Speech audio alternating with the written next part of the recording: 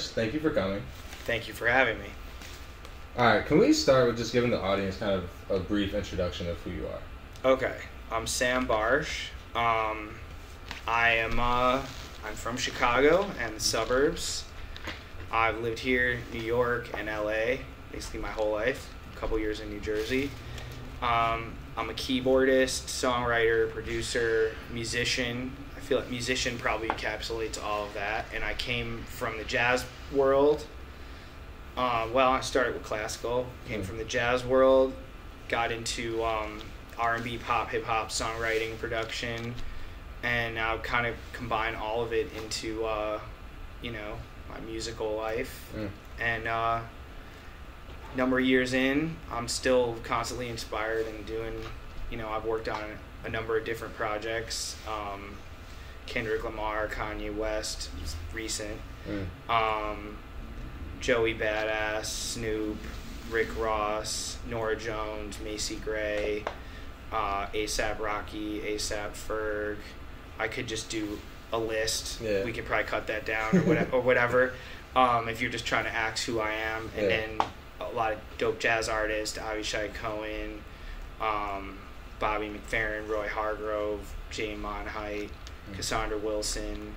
Um, I've worked with a bunch of other, just you know, kind of all over the map. Tom Jones, like Stevie. I did a, a, a private performance with Stevie Wonder and David Foster. Some LA shit. Um, that, that type of shit happens in LA. It's like LA people are like, oh, you played with Stevie at, at a private event? Yeah, okay. I was at one last week where he was there. Impressive roster. We're gonna touch on a few of those for sure. For sure. But going from the start, what was it like growing up in Wilmette? It was uh I like to describe the area I grew up in was like salt of the earth upper middle class. It was safe, we had great schools. Um it wasn't flashy.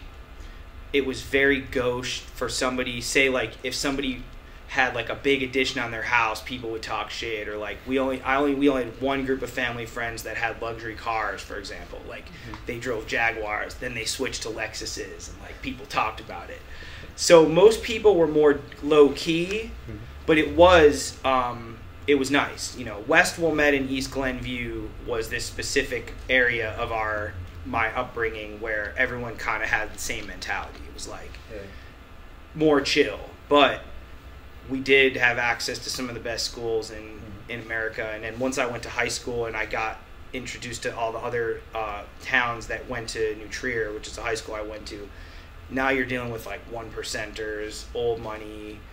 Um, it was there was a, a, a different type of situation. Yeah. However, um, the the level of excellence that they hold you to at that school is pretty intense, and I reacted well to it. I was serious about music. If you were good at something, you were encouraged. If you were average, which at New Trier you could have still been good, like Mhm. you were kind of left in the cracks. And I know a lot of people that didn't like it there.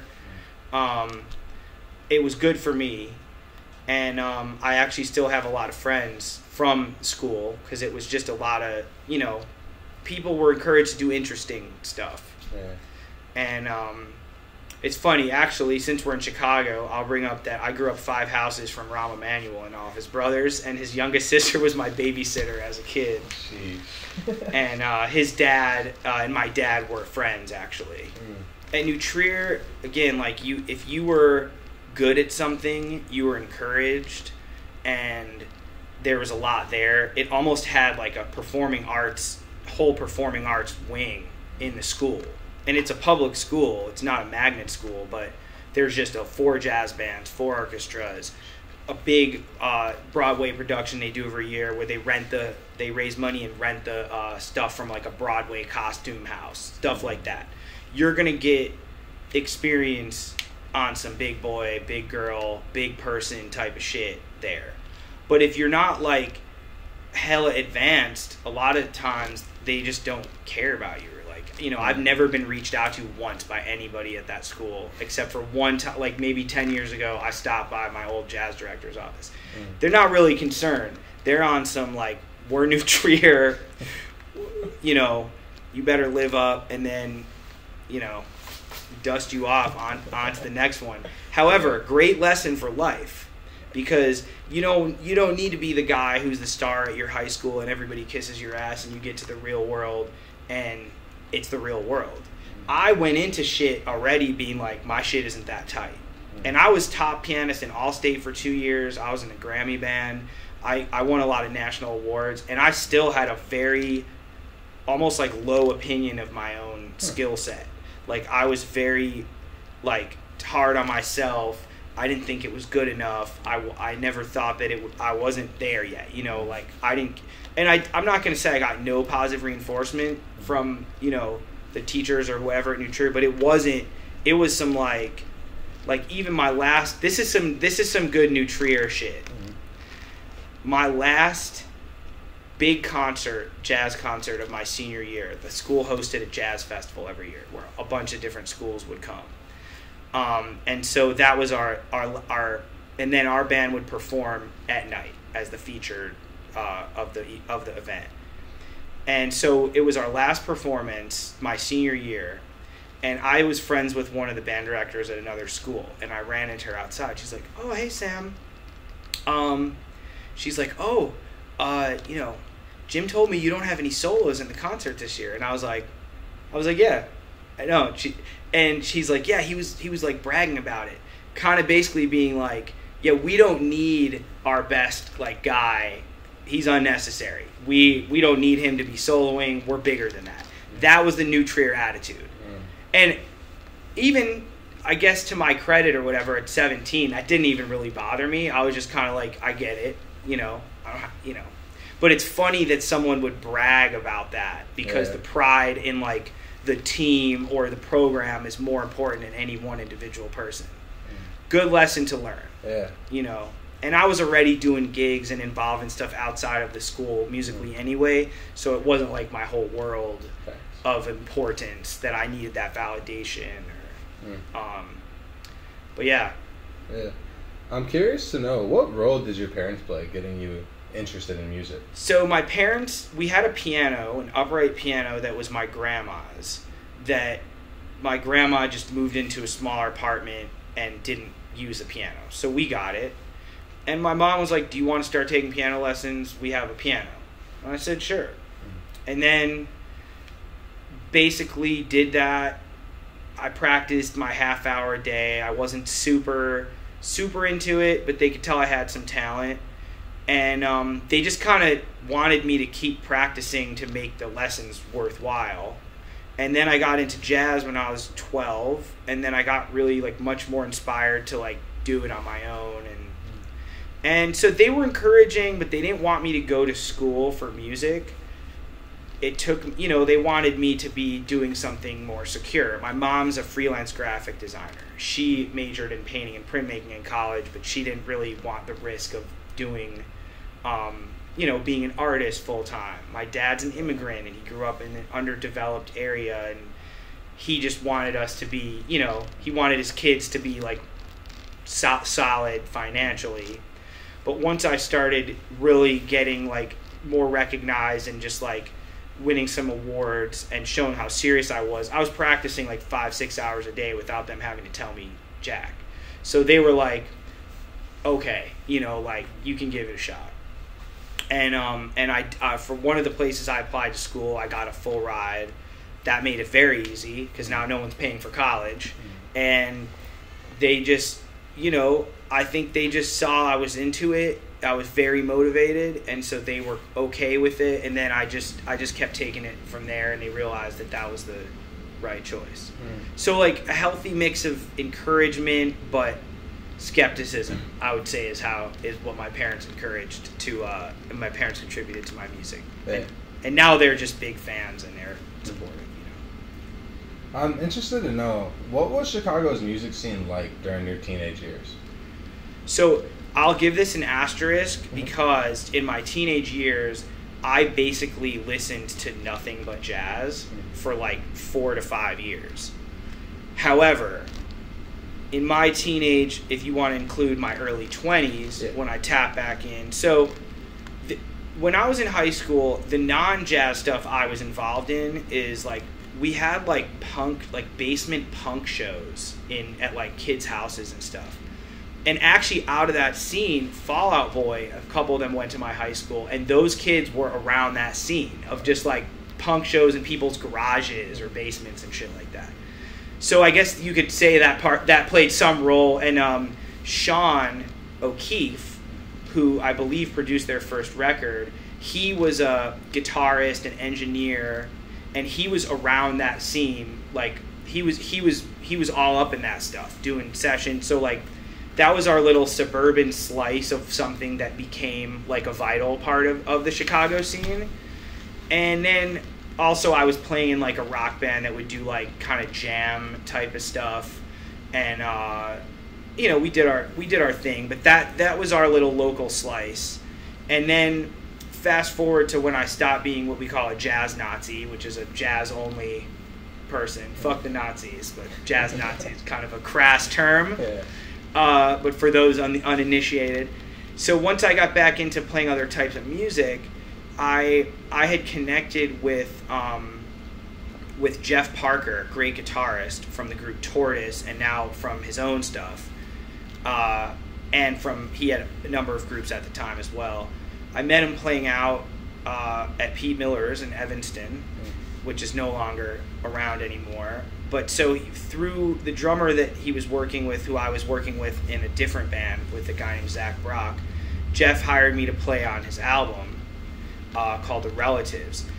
From that, it was it was a jazz and like jazz adjacent album. But from that, I got exposed to the whole Tortoise, Thrill Jockey, Sea and Cake, Chicago underground duo scene.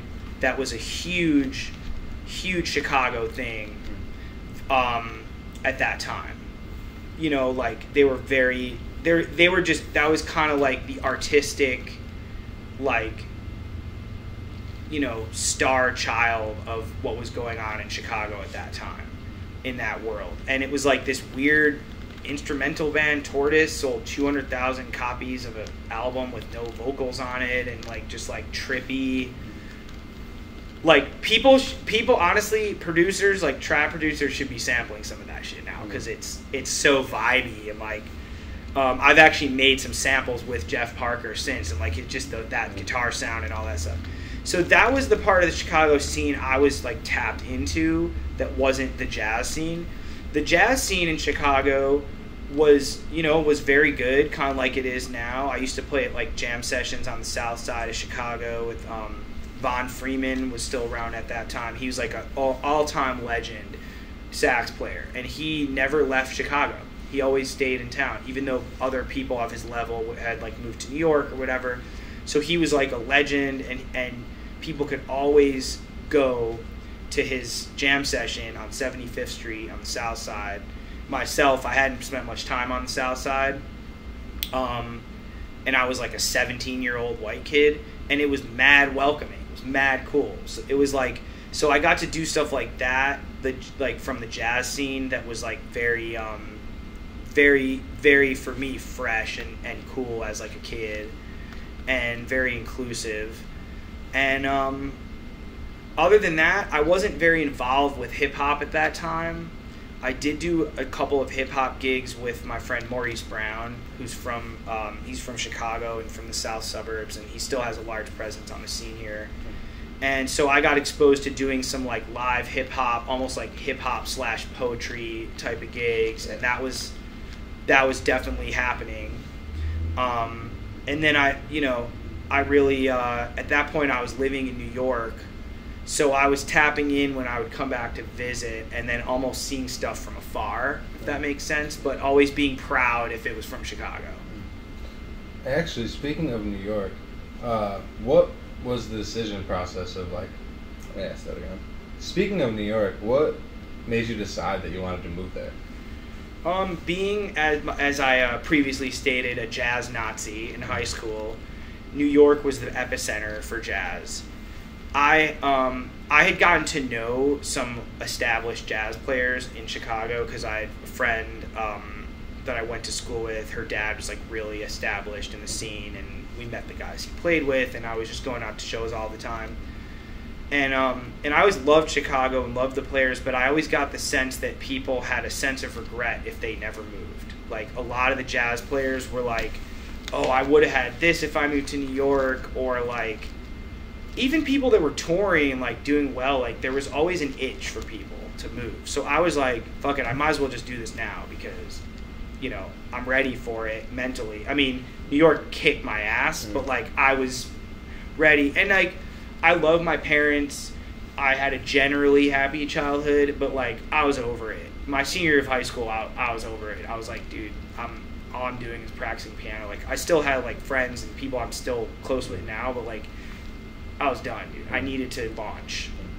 Um, so that was why it wasn't really for any shade for the city of Chicago. It was more to try to like really get to the most potential I could I could achieve and um, and uh, you know I went to college, so I just basically only applied to colleges in the New York area, and that made it also easy. Yeah.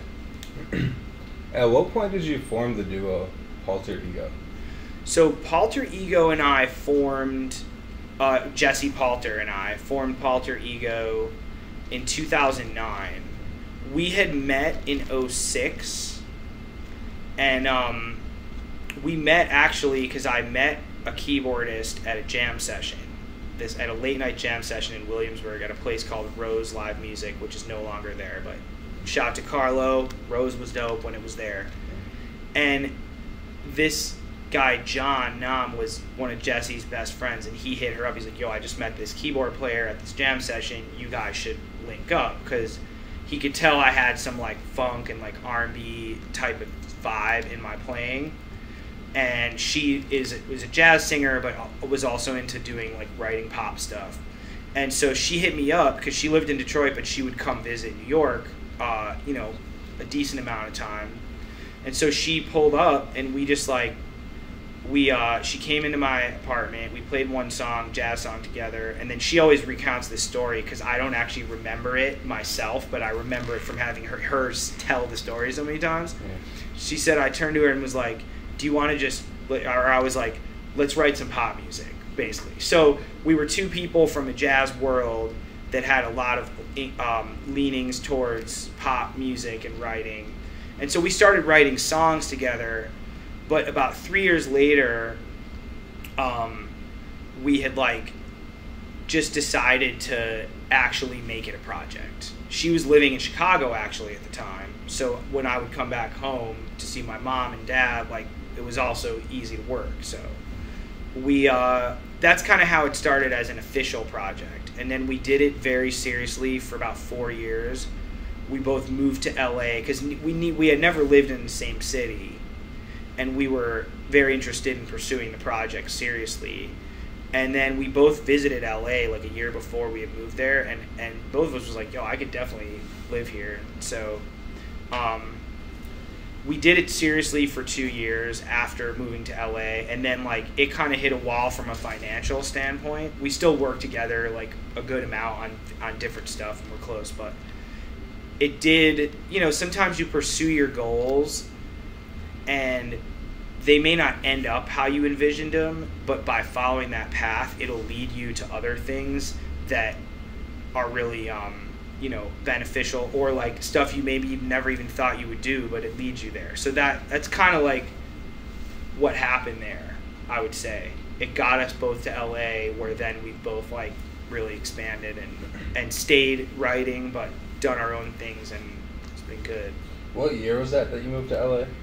2011. Okay. How's your time? You're still there, right? Yes. How's your time been there, just as a whole?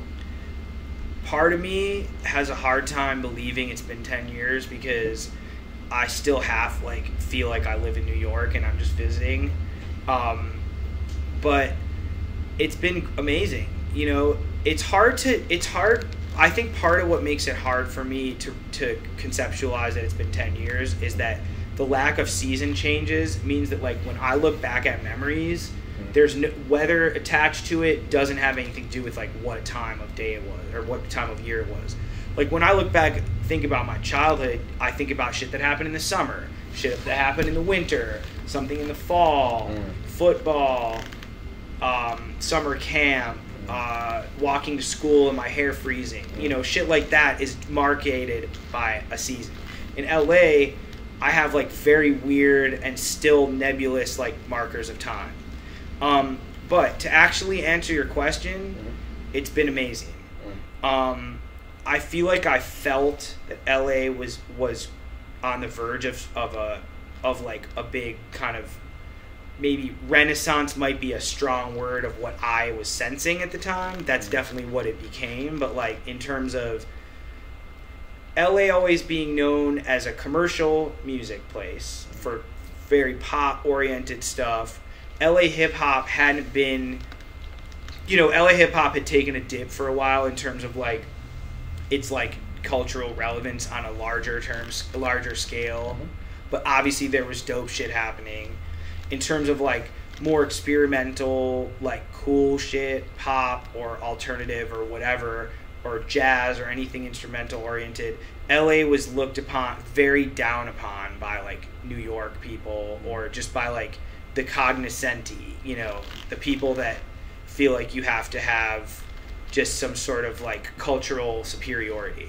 But when I did this trip there in 2010 for a month, I came back being like, there is shit happening here. There are dope people here. There are people doing shit all over town that's cool. It might be on some more like less noticed by the rest of the world shit. And there's also the writing scene. Uh, at that point, most songwriting and production stuff was was starting to leave New York and be in Atlanta, Nashville, or here or in LA. And um, and so I just knew I could kind of do everything I liked to do there, and then all of that totally happened. Right. You know, I was in LA, right in the middle of when jazz no longer became a dirty word anymore, because you had Kendrick come out, um, and then you had people that worked on the Kendrick album start becoming known in the jazz world, or and then Anderson Paak and like being in being involved in a lot of that stuff. Um, I was just kind of like answering the phone. You know, you want to do this session? Let's work with this. Let's work on this. Great. And then seeing it become kind of like a part of a shift in what people accept as popular music is pretty fucking cool. Yeah. But I mean, it's just what that's been my experience in LA. It's just Mm. it's it's um there's just a lot of cool shit going on and I just always like to work. Yeah. And uh Speaking of Yeah. Kendrick, uh, you worked on his a Butterfly album. correct. How did that all come about?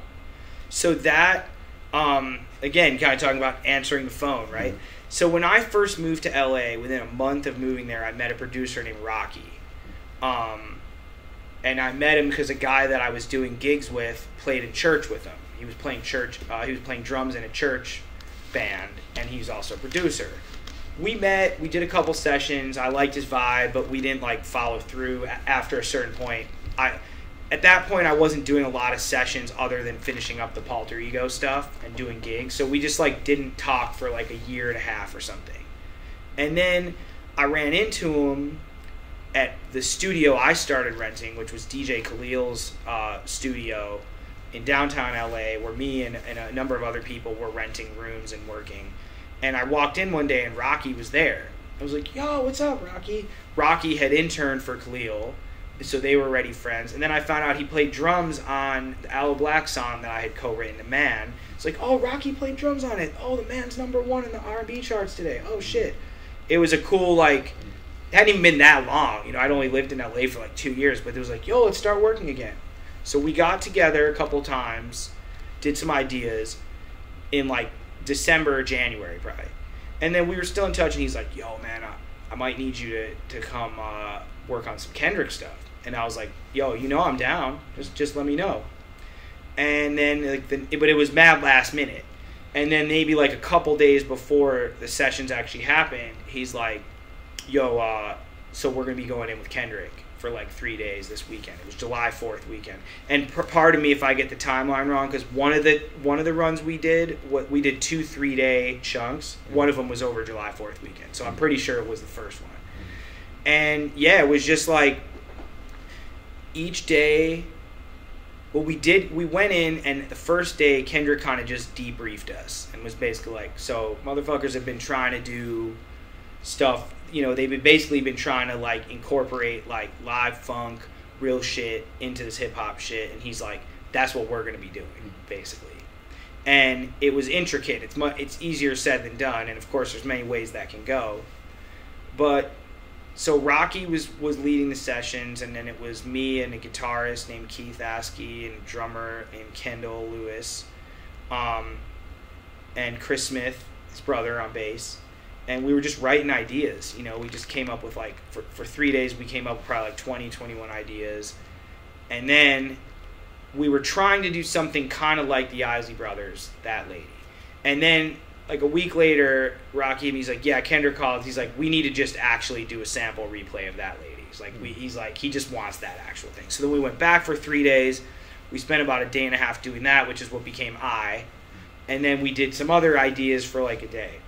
None of the other ideas ever made it, but an idea I had did with Rocky months before that was what was institutionalized, became the song institutional. And that was just plug in the keyboard, load up a sound, I just started playing. It was probably the first thing that came to my mind, and then Rocky just structured it out, and then we added shit to it, and but it was like in the running for To Pimp a Butterfly for over a year, and you know with the the sometimes I liken getting a getting a getting a hit or getting a song out to being a sperm that actually makes it to the egg. Mm. It's like from the start you got all these different beats, and Kendrick was getting I, I kept hearing he was getting an email every five minutes or something with beats for like a whole year, you know, for the whole album cycle. And who knows what it's like now. So it's like you get through, you're already beating all these other joints. You get to the egg. Then you get lucky if the egg gets fertilized. Then you got to go through a term of a pregnancy with all the other crap that can go down, you know, and that's kind of like that's kind of like an artist that big actually recorded your song and it's in the running your shit still has to look, survive the whole process of A&R people, label people for maybe there's some feature they can't clear, you know, on on institutionalized they wanted Slick Rick. They were hunting his ass down. And he didn't do it. He he wasn't available or he was ghosting. So that's why Snoop sounds like Slick Rick on that song. Because mm. Snoop's basically doing a Slick Rick impersonation. I love that Snoop's on it, yeah. but just to show you like any what if they would have said, "Oh, we can't get Slick Rick fuck it, we're not using the song. Like that shit happens all the time, dude. So that's basically how that went down, and um, so it was like a mix, you know, because some of the artists I've worked with I've never met, and then some I've spent massive amounts of time in the room with. So that was almost like both. It was like if we didn't do those other in person sessions, I might not ever met Kendrick, mm-hmm. even though the song, you know, came, you know, it was like a whole other song was on the album. So. So you have toured like all over the world. I'm very curious. What is your favorite place you've ever been to? Oh wow, that's a good question. Um, Pequods? I'm just kidding. I'm hungry right now. Uh, my favorite place I've ever been to. Well, I'll have. We can categorize those we can get we can I can give you a couple because this is the same thing that happens whenever anybody asks me who's your favorite artist, mm-hmm. who's your biggest influence. Like it kind of depends on where you're at in your life, mm-hmm. you know. I had had a really good time in Spain, um, in Madrid, and it was like one particular like summer that I was there that was just really dope. I always have enjoyed Scandinavia and um, had a great time in in Copenhagen I've made a lot of good friends in the UK, in London. I love going to Tokyo. Um, I uh, I really I'm like the worst person to ask this type of shit. Mm-hmm. But I'll throw those on there. Also, I have to give a shout to Xi'an, China. I went there three years ago, and that was just like mind blowing. Mm-hmm. Like, and the best food, like illest food, dude. Mm-hmm. Like none of this greasy bullshit. Like, like Xi'an food was incredible. All right. so today is October second. 2021. Yes. Do you know what you tweeted 10 years ago today? I didn't even know if I had Twitter. Can you read this out loud for me? Oh my god. Norwegians make shitty locks. Having kids is like eating chocolates. If you get one you don't like, you can put it back in the box. October Fools. That's basically me doing an April Fool's rhyme. So I used to always write all my statuses in rhyme. Yeah. So that's amazing. Okay, hilarious. Because Norwegians do make great locks, and you definitely can't put a kid back in the box. At least, at least not in the 21st century America. I mean, maybe back in the day. But I was that's curious. amazing. I love that you pulled that up. That's funny. Um, so you recently worked on Kanye's latest album, Donda. What role did you play on that album, and when did you first meet Kanye? So, second question, I haven't met Kanye. Sure. That album, that Kanye is one of not a ton, but none, number of artists that I've worked with that I've never met. Um, that song started as a sample, um, and if you so the original version of the song is called 80 Degrees. The song, the Hur- Hurricane, is the name of the single now. If you go on YouTube, there's many versions of 80 Degrees or 80 Degrees Hurricane with the original sample that we had did. DJ Khalil, producer, and myself, Daniel Seeff, and Josh Mease. We made we've made a lot of different instrumental loop samples through the years. Khalil sent it out to um, a couple of the people that I think he sent it to Nascent or Boogz or both of them who worked with Kanye um, more directly.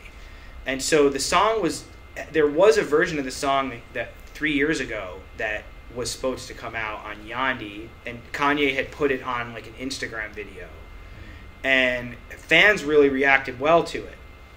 And it's funny because the night that Yandhi was supposed to come out, I had a pool party with friends for my wedding.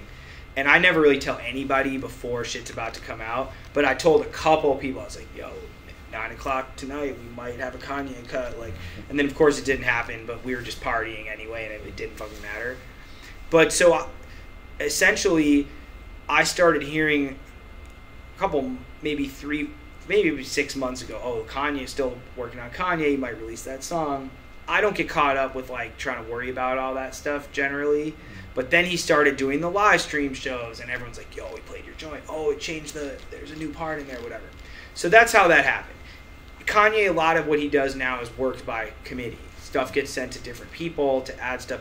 I've been even sent stuff. Yo, we need to like replay this for Kanye, like replacing something that someone else did or adding to it or whatever. Um, so yeah, I haven't. That's how it worked. I haven't met him. I know some people that work closely with him. They seem to enjoy it. You know, I actually don't. I, I, I tend to never really hear anything other than he like treats his people well and obviously he's a creative like you know genius and he's always doing different stuff and i'm just thankful that the song finally came out and i really i'm genuinely like the version of it you know they uh what what whatever they decided that he decided or to make sonically to make the final version i think it i think it turned out great you know I know you said you don't like these type of questions, but do you have a favorite song that you've had a hand in creating? Oh, favorite song I've had a hand in creating. Well, I could give you a few. Mhm. The one that comes to mind is uh, Joey Badass, uh, American Idol. Um, because for a number of reasons. A, I really like the subject matter. It is some no holds barred, like deep. I don't. It's like political, but not. It's just some real shit. You know, like it's. Um, we did it on July 4th, 2016. That was a he- heavy summer. That was the summer of Donald Trump versus uh, Hillary Clinton. Um, and just the theme of his album, of that album, where it was like about America, but about a lot of the, the you know, fucked up stuff about America. And then I just like bonded with Joey during that process. Like I, I learned that we, I had lived like off the same train stop that he grew up off of in Flatbush, although he was probably like 12 when I lived there. Um, and uh, it's also simple. It's a song. It's like the keys and guitar is basically the whole, like the whole first half of the song is like keys, guitar, and like a, a like a kick drum, maybe a snare, like and it just like it's a real almost like hypnotic type of vibe. So I should say this because I don't always like listening to stuff I've done, but like that song I, I like to listen to. And then like, you know, Heart Don't Stand a Chance. Um, I'm just proud of that record because of of how organically that at least what we had did came together and then how it was like the form is weird, you know, like I I I'm almost like proud of stuff that became that is something that and it's not typical. Mhm. Like people really fuck with that song and it's a very weird song form. I tried to perform it once. Mhm. I'm talking about Heart Don't Stand a Chance. I tried to perform it once. That was a disaster. Trying to get somebody to learn it, like to learn how to sing it. Like there's no like just like verse, chorus, uh, you know, bridge part. Like it's some different shit. But and then there's others and so yeah, I am like the worst person to ask those questions, but I hopefully I gave you some sort of a like decent answer. Yeah, no, that's good. so I always like asking this question to Chicago creatives. There's always that conversation in Chicago's music community, right? Chicago is missing this, whatever Atlanta has. Chicago is missing this, whatever LA has. What do you think is missing in Chicago's music community? Literally every time I talk to somebody that really knows Chicago, they're like, everyone moved to, for Chicago if it wasn't for the weather. So what Chicago is missing is about 15 degrees every time fucking November comes around. Mm. Um, and honestly, that could be a big thing. Now, I will say this: Mhm. I fuck with what you guys are doing. Atlanta didn't have shit going on musically until L.A. Reid and Babyface decided to start their shit there. So maybe what Chicago's missing is just some people to say we're gonna run shit out of here and make something so attractive that other people come.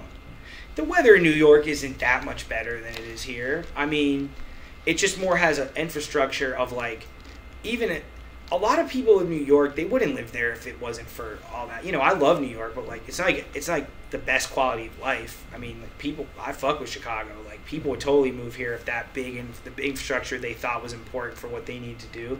And you can look outside the entertainment industry and see that in Chicago in all types of businesses. You know, a lot of headquarters are here. This is a major hub for a lot of stuff. So I think all that Chicago is missing is the clout things that make people the the honey that the bees come to essentially. It's not lacking talent it's not lacking vibe it's not lacking like diversity it's not lacking a tolerant environment for experimentation. Some of the chicago scene shit that i was always checking out as a kid was hella weird. I used to listen to northwestern wnur radio. All they played was the fucking outest weirdest shit like going at to Dr. Wax, like the, the the record stores around here would always be promoting some weird stuff. So like, and then the, just the amount of artists coming out here now. So that's all Chicago. Maybe all Chicago's missing is just Lyrical Lemonade to have like eight more buildings out here, or like five other companies like you guys just being like, let's just post up Yeah. you know um it's it's weird because i know a lot of people from detroit and detroit people always end up like kind of keeping a house in detroit or something. Like all the detroit people in like new york or la like they might they might just be in detroit sometimes like even if they move. Chicago people tend to move out. There's not as much of the like kind of having two homes. Also honestly it's probably cheaper to have two homes in detroit and and somewhere else than Chicago. Um, but yeah, man, I I root for Chicago heavy. Like, Super random question, but I was wondering, how does the jazz community, in your opinion, differ from like the hip hop community? um, the jazz community, especially in 2021, anyone in jazz, pretty much came at it from like school. Like they studied it, they took lessons, and most likely they went to college, or at least went you know went to some college and studied it. Jazz has become very institutionalized. There's nobody falling off the street that's killing it on jazz now. You can't even learn all the shit you need to learn to be able to play jazz just from going and sitting in places. Like it's very intellectual it's stud it, there's a lot of like harmonic stuff in there. So jazz started as street and now it's mad school. Hip hop is street but hip hop's also everything now you know but so I'd say hit, the hip hop world, there's a lot of crossover between people that have studied music and are especially on like the producer side of things. Um, but hip hop is still just less rules. I think I feel like there's constantly there's just less rules in every new generation doing hip hop, and it it thrives on that. There's like a punk type of energy the jazz world as a whole is more conservative and more rules oriented. Now that being said, there's people like me and many others who come, who've learned, who've studied all that stuff, and then use it for other purposes and have taken the shackles off. But that's what I would say is um, is probably the biggest differences in mentality. Also, to be fair, to be a great jazz player, you do have to put in a lot of work in the real nitty gritty, technical, and studied shit. To be a great hip hop artist, you don't have to do it in that same regimented way. You still have to put in the work, but you also could just have an incredible flow naturally. You're gonna have to work work at you know writing records and stuff, but so I don't mean to shit on jazz in terms of like it's it's lame and hip hop's cool. It's not that. It's just that it, they're where they're at today is two totally different. It's you're coming from totally different places. When they meet and it works, then it's amazing. Yeah. and then the last question I have for you is where do you see yourself in five years? Where do I see myself in five years? Um, I see myself having uh, continued to work on uh, and produce a bunch of dope records. I see myself as evolving into being the best musician producer I can be um, in five years time with and being kind of open to contributing to and learning from all the sounds and the music the where music is and where it's going at that time. Like i just want to i see myself being as inspired and vital th- uh, in five years and even more so than i am now and to know what life's going to be like in five years is very difficult so other than that i see myself hopefully having a child because that's on the docket with me and my wife and um, either living in my home now or having kicked up a notch. But I do love where I live now too, so that's cool. And then um, maybe having a pied a terre in Chicago, which my wife always talks about. Having our summer our summer house, p- summering in Chicago. I don't know how common that is, but I would I get with it. Mm. Come to some festivals. This that badass assassination, topic of conversation, a proclamation. To-